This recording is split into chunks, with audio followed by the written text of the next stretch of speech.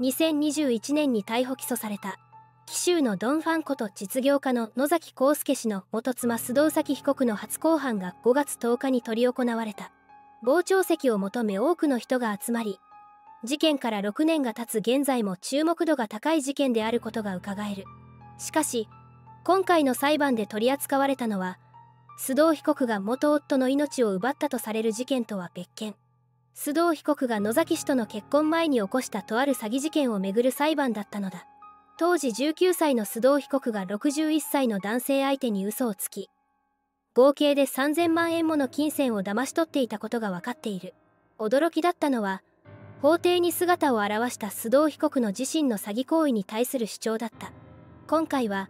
私に詐欺罪は通用しません。3000万円騙し取っても詐欺ではないと言い切った須藤被告の主張とその根拠について紹介していく。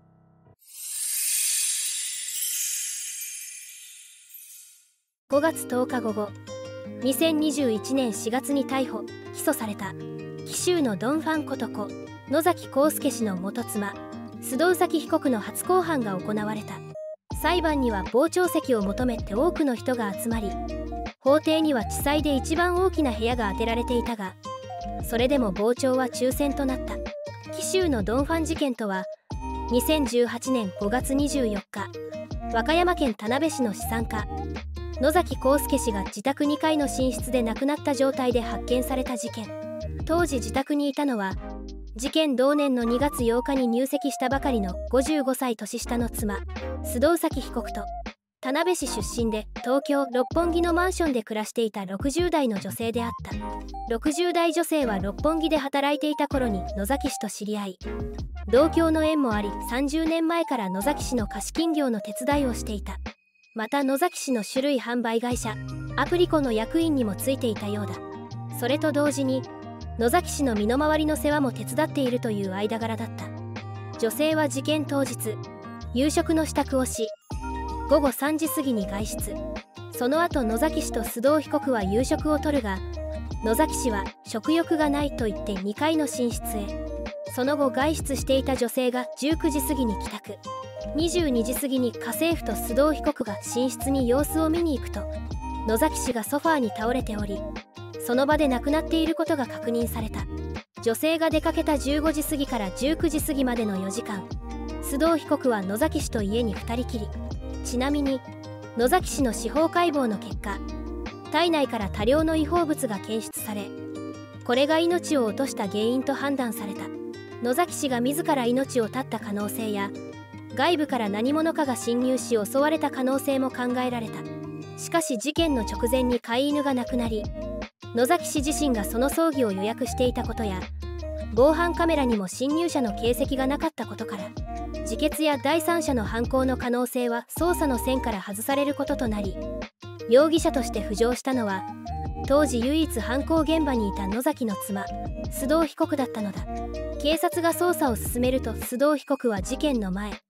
違法物によって命を奪う方法などをインターネットで検索していたことが分かっている。さらにその後密売人と接触したことも判明。さらに野崎が倒れていた2階に事件前は行っていないと証言していたにもかかわらず自身のスマホの健康管理アプリの記録から2階に上がっていることも判明した。こういった状況証拠や虚偽の証言から事件発生から約3年後の2021年4月28日に須藤は夫の命を奪った罪と違法物所持の容疑で逮捕された。結論として犯行を行えるのが須藤しかいないと判断されて逮捕に至ったわけだが決定的な証拠がなかったことで逮捕までに3年もの時間がかかってしまったのだ。そんな須藤被告が逮捕されてからさらに3年。ようやく彼女の初公判が行われることとなった。しかし今回の裁判はドン・ファン事件とはまた別に彼女が起訴されたとある事件の裁判だったのだ。今回の裁判で争われたのは須藤被告が19歳の頃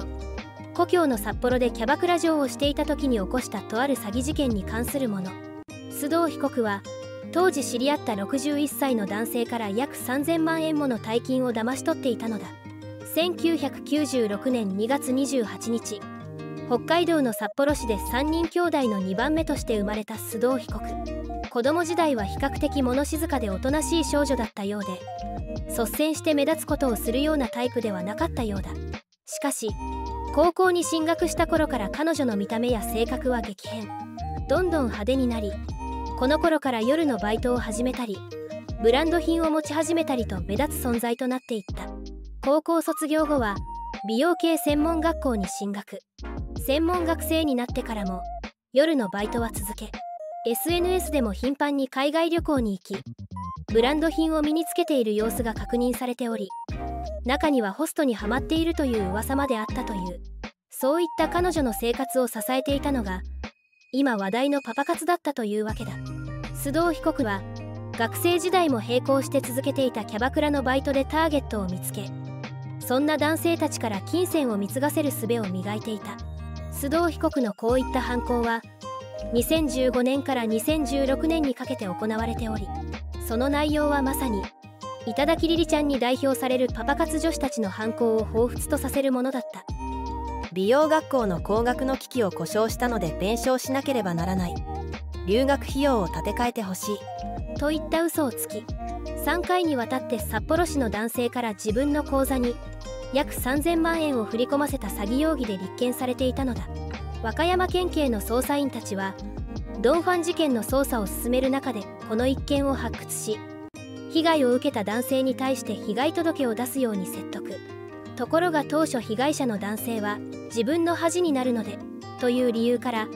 被害届の提出を渋っていたという。しかし警察から名前も住所も伏せるからと説得されようやく応じたということだ。そんな一件を扱った今回の裁判。驚きだったのはその日法廷に姿を現した須藤被告の犯行に関するとある主張だった。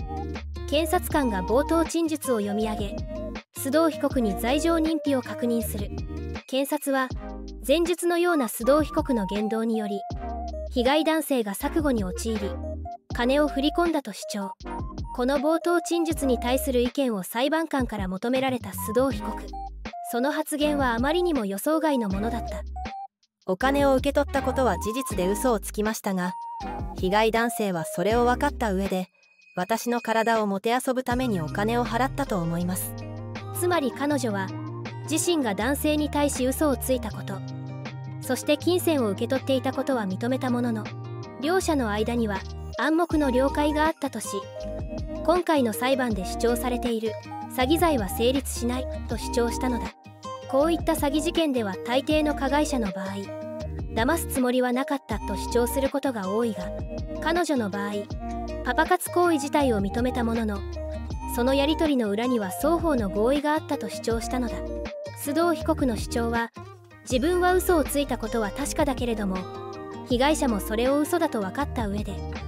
その見返りを得るために金銭を払ったはずだから詐欺罪は成立しないと主張したわけだ。須藤被告は若い女性という存在自体が年配男性への武器になることを熟知していたことはもちろんパパ活に応じる男性にはある種の負い目があることもしっかりと認識していたということだ。今回の彼女の主張はそんな彼らの負い目を責める作戦ということなのだろう。とはいえだから詐欺罪は成立しないという彼女の理屈を裁判所がどのように判断をするのかはわからない。この主張が彼女自身のものなのかそれとも弁護士が考えたものなのかは判明していない。しかし近年連発するパパ活詐欺被害の根底にこういったグレーな部分が存在することは確かだろう。裁判の冒頭陳述ではパパ活男性と須藤被告との LINE のやり取りも明らかにされている。いつも助けてくれるからさきもまるちゃん大好きだよ。と被害者男性にメッセージを送っていたことが分かっている。こういったメッセージにほだされ3000万円もの大金を騙し取られた挙句。裁判ではもてあそばれたと主張しているが一体もてあそばれたのはどちらの方なのだろうか。検察側の冒頭陳述では須藤被告が被害者から受け取った金で海外旅行を予定していたことも明らかにされた。彼女自身身長167センチの高身長とそのスタイルの良さをジャーナリストに自慢していたようで自分の武器の威力はしっかりと理解していたこともうかがえる。それを自覚した上でその威力を発揮しその結果被害者から得た資金で海外旅行を楽しんでいた。にもかかわらずもてあそばれたという主張はいささか無理があるようにも思える。この裁判に関してネット上では。このタイミングでこの主張タワマン事件と重なっておもろいエンタメ提供してくれるわ。須藤被告は元祖頂き女子リリちゃんかもしれん。こいつ男騙しまくっとるな。レジェンド頂き女子やいただく相手が独身実家ストーカーならとっくになくなってる案件。自分で制裁下したタワマンの涌井は優秀ってなっちゃうなこういう風に言われるともはやギブアンドテイクやんと思ってしまう。主張する側としてはその言い方はありな気がするな。弁護士の入れ知恵。それとももう諦めたから最後に言いたいこと言ってやろうってことかな。男性側が目当てにしたものを手に入れられていないのなら詐欺になるけど実際向こうが求めていたものは提供していたってこと。その場合確かに詐欺ではない気もする。詐欺罪の要件として欺罔行為と錯誤があったかが必要なので彼女の主張はとんでもないようで案外有効な手かもしれない。警察は他の物的証拠をちゃんと揃えないとね。詐欺罪って意外と立証が難しいんだよ。いやいやいや。相手も嘘だと知っていたっていうのはどう証明するんだよ。それに仮に同意があったとしても税関係でアウトやろ相手も嘘だと知りながらってかなり苦しくない女の言ってることが嘘だって分かってたら男は恩を売ることできないじゃん。それに関係を持つことが目的で金を渡してたんだとしたら最初から女が嘘をつく必要もないし。これ言い訳としては0点だろ男が「いいえ信じてました」って言えば終わりじゃん。結局別件の詐欺で引っ張っても和歌山のドンファン事件の真相が明らかになるわけではない。逮捕から自供なし証拠なし新事実もなし。後半の見通しすら立っていない。こういう事件って結局逃げとく騙しとくのやったもん勝ちってこと。そうなるとマジで法治国家も警察も機能してないってことになってマジで戦慄。須藤被告が繰り出した予想外の主張。ネットでも意見は分かれているが果たして裁判所はどのような判断を下すのだろうか。須藤被告に関しては未だ始まっていないドン・ファン事件の裁判にも注目が集まっているが果たして彼女はどのような主張をするのだろうか。今後の動向に注目が集まる。